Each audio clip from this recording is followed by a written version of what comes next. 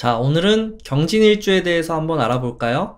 자, 경진일주에 대해서 이야기를 하기 전에 경금과 진토에 대해서 간단하게 얘기를 하고 경진일주를 설명해야 좀 더 이해하기가 편할 것 같아요. 경금을 이야기하기 전에 금부터 얘기를 해보죠. 금은 금의 의미는 정리한다, 숙살지기 또는 단절한다, 끊어낸다 뭐 이런 의미들이 있어요. 자 그러면은 금이 정리하는 건 뭐냐? 화를 정리하는 거예요. 자 그러면 화에 어떤 것을 정리하는 거냐? 화는 팽창하면서 필연적으로 불필요한 부분들을 형성하게 돼요. 좀 더 쉽게 그림으로 설명하자면은 꽃이 꽃을 피우고 향기를 내보내는 이유는 벌을 유혹하기 위해서죠. 벌이 와서 암술과 수술을 만나게 한 뒤에 떠나가면 꽃잎은 필요가 없어지고 꽃의 향기도 필요가 없어져요. 왜? 암술과 수술이 만나서 씨앗을 만드는 게 끝났잖아요. 그러면은 그게 불필요한 화가 되는 거예요. 화가 막 활동을 할 때는 필요한 건데 그 화의 목적이 달성이 돼서 넘어가고 금으로 넘어가고 나서는 화가 불필요해집니다. 그럴 때 금기가 작용을 해서 이 꽃잎들을 떨어뜨려 내야 돼요. 물을 내려서 시들게 해야 되고요. 그 자리에는 열매가 맺히게 되겠죠. 자, 이게 금의 작동이에요. 그래서 금은 강 하면 강할수록 좋다. 왜? 강하면 결단력 있다, 확실하게 끊어낸다, 군더더기 없다, 깔끔하다 이런 표현이 가능해지는 거거든요. 자, 이게 금의 어, 기본이고요. 경금은 그 중에서도 이제 화를 만나기 좋은 신금보다 화를 더욱더 잘 다루는 금의 형태다. 이렇게 보시면 될 것 같아요. 자, 그럼 여기에서 진토가 하는 역할은 뭘까요?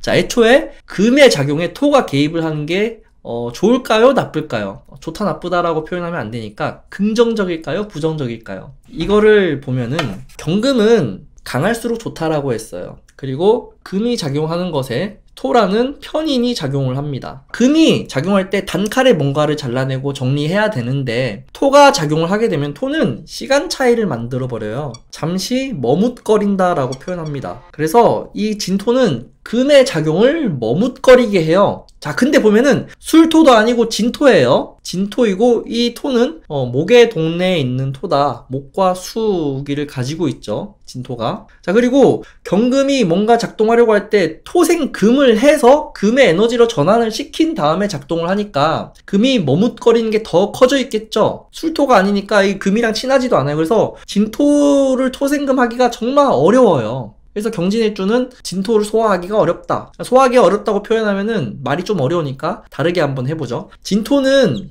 변화 무쌍하다라고 얘기를 해요. 변화가 막심합니다. 진월이라는 계절 자체도 작년 가을에 추수해서 먹을 것이 떨어진 토란 말이죠. 진토가. 그러다 보니까 담장이 낮아요. 담장이 낮고 이것저것 많이 섞여 있어요. 진토가 편인으로 있으니까 편인이 생각인데 진토가 이것저것 섞여 있으니까 어, 상상력이 굉장히 풍부하다. 다른 말로 표현하면 비약을 시킨다. 그리고 비현실적이다. 이상적이다 뭐 이런 생각들을 할 수 있겠죠 그래서 저는 경진일주를 보고 뭐라고 얘기하냐면은 가장 경금답지 않은 일주 중에 하나다 이렇게 표현을 합니다 그래서 경진일주를 누군가 보면은 경금인지를 잘 몰라요. 그 사람 사주를 보기 전에는. 워낙 경금이 하는 행동들하고는 거리가 있기 때문이에요. 자, 그래서 경진일주는 가장 생각이 많은 일주고요. 그리고 가장 비현실적이고요. 가장 많이 고민하고 머뭇거리고 생각이 많다. 실천하는 게 어렵다. 이렇게 얘기할 수가 있겠네요. 자 그러면은 어, 이 진토를 긍정적인 방향으로 바꿔내서 써야 되는데 여러 가지 방법 중에 하나가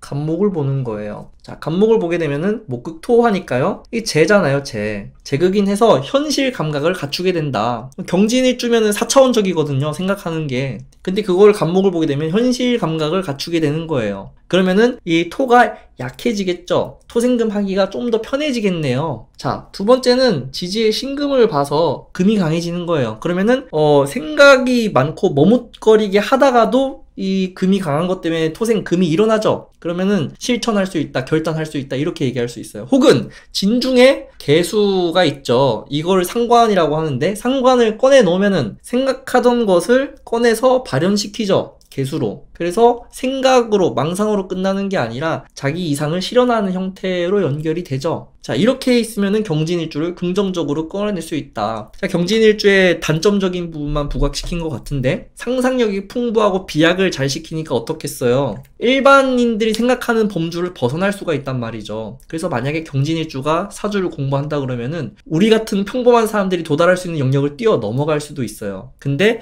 이게 재라는 현실 감각이 없다 보면은, 그걸 풀어서 설명하는 게 잘 안 되겠죠. 자, 그래서 경진일주를 정리하면요.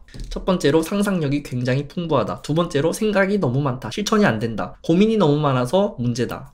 그래서 이런 것들을 해결하는 방법 중에 하나가 간목을 봐서 토를 조절해서 현실 감각을 갖추는 것. 두 번째는 금이 애초부터 강해서 토에 머뭇거리는 성질을 극복하는 것. 세 번째는 진중의 개수가 나와서 인성 기반의 상상에 기반한 뭔가 글로 풀어내거나 말로 풀어내는 것. 자, 이러면은 선생님이 될 수도 있겠네요. 자, 다음 일주를 뽑아야겠죠? 네, 다음 일주는요. 다음 이 시간에 병호일주로 찾아뵙도록 하겠습니다. 감사합니다.